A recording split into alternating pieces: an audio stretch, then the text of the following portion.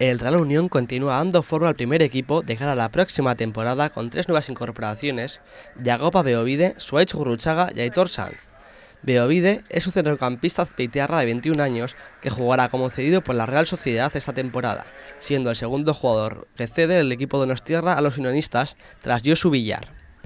El fichaje de Suárez Gurruchaga, de 28 años, está totalmente encaminado a falta de firmar su nuevo contrato, si bien el del Goibar ha escrito una carta a un diario zamorano despidiéndose y agradeciendo el apoyo del que hasta ahora ha sido su equipo, el Zamora y su afición, y en donde confirma su marcha al Real Unión. Está previsto que el que ya fuera defensa unionista hace tres años vuelva a firmar con el club Irundarra este mismo lunes.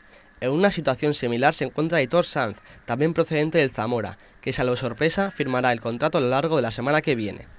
Con estas tres incorporaciones serán nueve las caras nuevas que habrá esa temporada en Irún, las cuales serán presentadas junto al cuerpo técnico este martes en el Estadio Ungal. También llegan nuevos fichajes al otro lado de la variante.